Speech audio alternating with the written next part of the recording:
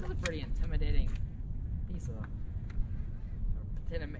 intimidating bait fish for a little bass like that. I don't know, attack. but if you don't cast with that stump in front of you, I'm gonna punch you.